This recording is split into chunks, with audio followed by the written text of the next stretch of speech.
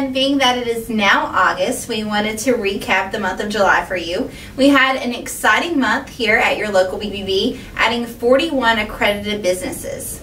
We also hosted a business card exchange with a presentation by Brenda Meller from Meller Marketing, who talked to us all about how to leverage your LinkedIn profile as a marketing tool.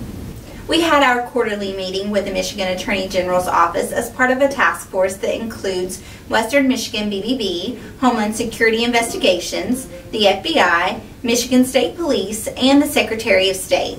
The Attorney General also visited our office to discuss different consumer initiatives for the state of Michigan. And in lieu of the two recent shootings in El Paso, Texas and Dayton, Ohio, we wanted to remind you to be on the lookout for GoFundMe scams as well as any other charity scams that inevitably come about when tragedy happens. We also wanted to share that your local BBB is hosting its first ever Torch Awards for Ethics this October. This award ceremony honors businesses who put ethics first. If your business puts ethics at the forefront, apply for Torch Awards by going to bbbeasternmichigan.wixsite.com slash Torch Awards.